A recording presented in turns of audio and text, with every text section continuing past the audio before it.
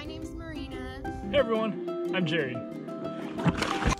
Hi, I'm Jesse, and we are the Naturalists, a part of the San Francisco Unified School District's Environmental Science Center out at Fort Funston.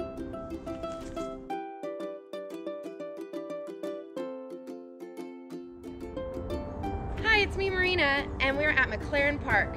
Today we will be learning more about redwood trees.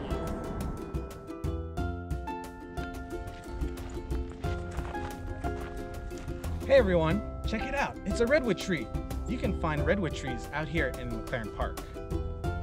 Wow, what a tall tree. Marina, can you tell us more about this awesome tree? Let's take a look at a redwood tree. Redwood trees like a lot of fog. Redwoods get almost half of their water from the fog.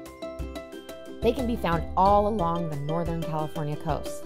This area is even nicknamed the Fog Belt and has some of the tallest trees in the entire world. Did you know that redwood trees are fire resistant? That means that they do not burn.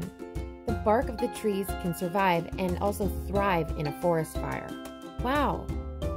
The cones that hold the seeds of this tree even depend on fire to germinate them.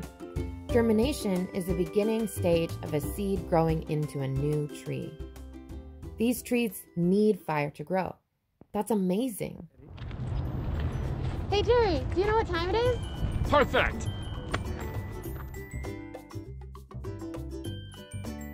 Did you know McLaren Park has over 7 miles of hiking trails? This includes many playgrounds and even a golf course.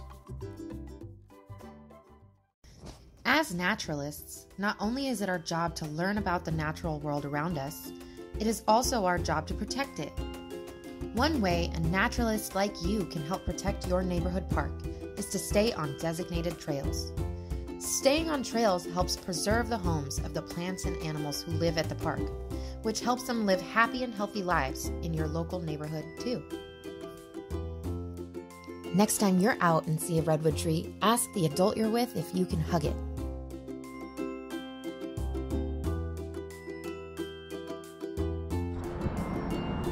Thank you for joining us.